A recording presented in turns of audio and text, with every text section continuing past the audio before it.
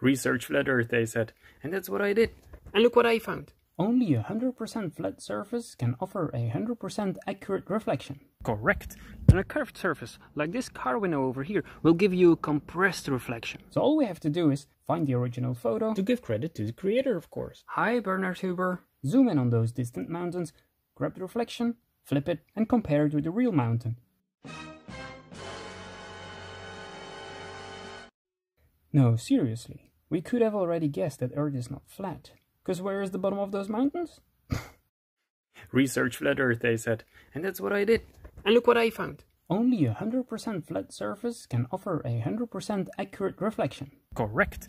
And a curved surface, like this car window over here, will give you a compressed reflection. So all we have to do is find the original photo, To give credit to the creator, of course. hi Bernard Huber, zoom in on those distant mountains, grab the reflection, flip it, and compare it with the real